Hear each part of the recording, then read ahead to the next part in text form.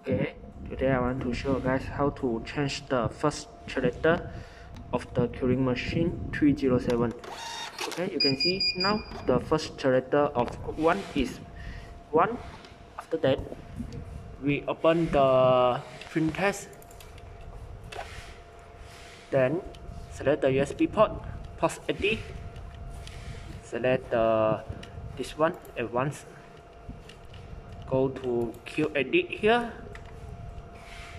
select the group 1 then you can see the Q head character okay. We select this one. Like I want to change to the capital A. Then we quit the setting. Okay. Here we hear the printer have a beep sound. Means setting finish. Then I create one more good one.